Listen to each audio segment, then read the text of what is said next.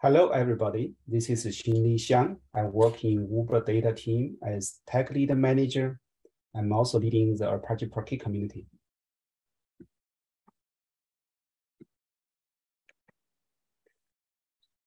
Our Uber data team's vision is move the world with global data, local insight, and intelligent decisions.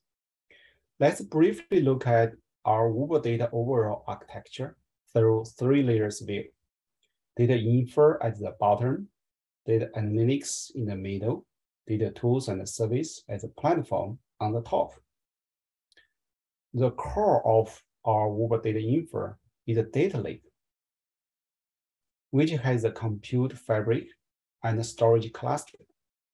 The data coming to the lake from upstream, like online storage, events, feeds, telemetry, and use Kafka as streaming pipe. All the ingesting pipelines powered by Hudi with transactions. The data can be available in minutes level, which is super fast. Move up to data analytics layer, which has real-time analytics and batch processing. We have Flink as a real-time processing platform. We also see faster growing adoption of Apache Pinot. On the batch side, we have Presto as the interrupt query engines, which can provide usually seconds level in latency. For complex compute application, we have a huge amount of usage of Spark. We are still using Hive for some pipelines. We have a rich set of tools and service as data platform for our user. For instance, we have query builder UI that the user can easily compose and run their queries regardless where the data is.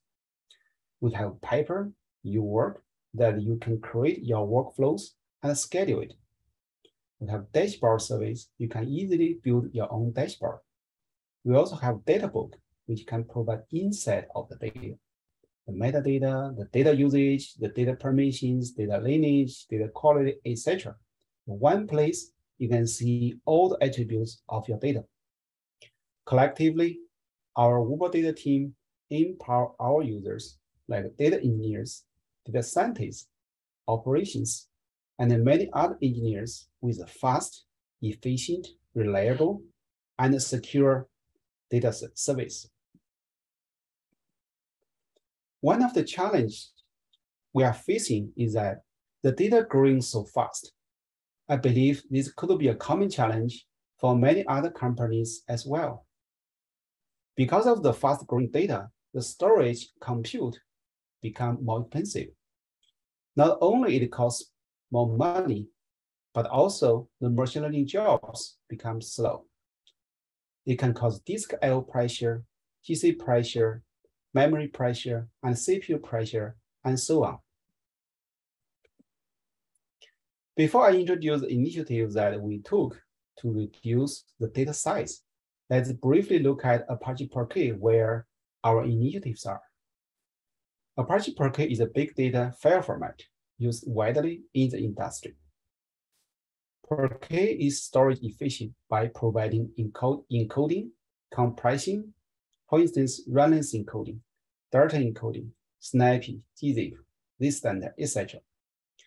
Finally, because it is column, storage, the data in the same column usually has similar value and they store together. This will benefit the compression and encoding. We took many initiatives to reduce their storage size. Here we talk about four initiatives that we took in Parquet to make data more efficient and use Spark implement those initiatives. Number one, decimal precision reduction on the location data. Number two, multiple columns reordering to benefit the compression. Number third, unused data deletion on both file and column level. Number four, adoption of Z standard, which is a more advanced compression method. For the location data, like longitude, latitude, they are usually represented as double. which has 64 bits. That provide a very high precision. To give you some idea, decimal 8 can be mapped to 0.001 meter. In some cases, it is unnecessary and it's a waste. For instance, if the source of the data is from GPS, we all know GPS can only provide the precision at a meter level. Now you are storing it with a very high precision data type, which can provide 0.001 meter, which is a huge waste. If we can reduce the precision by erasing the trailing bits, then we get more zeros connect to each other. We apply encoding or compression, then they become more efficient. We did a test from precision 8 to 6. We see the size, the table size has 12% reduction in the storage. The second initiative is multiple column reordering or called sorting. After sorting, the data with same value or similar value are put together, which is more efficient for encoding and compression. Sorting is relatively expensive operation. So this paper talks about some algorithm to do so. What we found is the order of ordering make difference. In this example, we have four columns in the table. And we saw the columns with different order, column order. We see the different size reduction. We started with no sorting at all, and then we, we proceeded with different column with different order. In the best case, we see 32% reduction of the table size, which is another decent reduction. The third initiative is to delete unused data. If the old partition not used at all, delete them. For the newer partition, we look at further. Sometimes we can delete some unused column. Sometimes it can surprise us, even delete one column it saves us like terabytes level storage size. Deleting data seems very easy, but actually it is not. When you're deleting some columns, you need to rewrite the data. For the large scale, we rewrite, need to rewrite very fast. Otherwise, it took years to finish.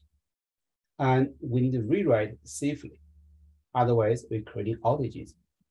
So we develop a lot of tools to do so, increase the speed, increase the data safety, and they are available in the POP 1.12. The fourth initiative is the adoption of Z standard, which is more efficient.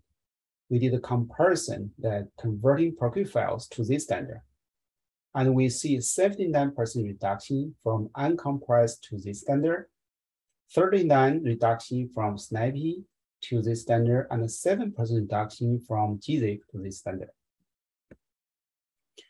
We just talk about the four initiatives. Finally, we write Spark jobs to put everything together and rewrite the data. Key takeaways, there are four initiatives we took, decimal precision reduction, column reordering, column deletion, adoption of Z standard. It turns out they are very initiative. They are very effective in production. We reduce hundreds of terabytes level data on disk which equivalent to millions of dollars saving every year without introducing any single outages. Thank you all. If you have a question, please send me email. I will be happy to answer them. Thank you.